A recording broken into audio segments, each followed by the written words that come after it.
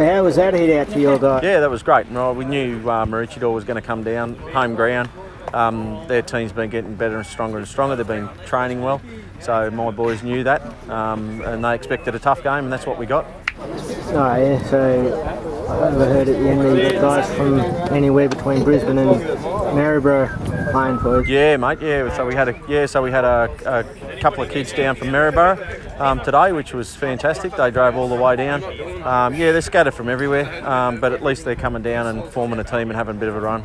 We've got them from uh, yeah, Nambour everywhere, so it's great. I suppose they're happy to get a game of footy. Absolutely, mate. That's all that we can. That's all we can ask. And it, and it was a really enjoyable game to play Maroochydore. Like they played in the right spirit. Uh, all the boys are happy. You know, it's great. Good to be here. Oh yeah, so where does that result leave you guys on the ladder?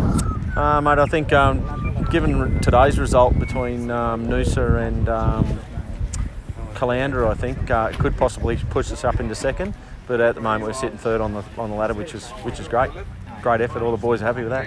Hey Rick, so happy with uh, where you guys are at uh, this point of the season? Yeah, yeah, absolutely. And uh, we got more improvement, obviously, and all the boys know that. So, yeah, bring on the finals, hopefully. No, anything else? No, that's it. Thanks, Pete. Great. Thanks for filming.